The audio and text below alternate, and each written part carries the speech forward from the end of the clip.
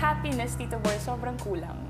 Hindi naman sa sinasabi ko na hindi ako sumaya na nakipag-date ako sa guys na to, sa number of guys na to, pero may kulang. Mm.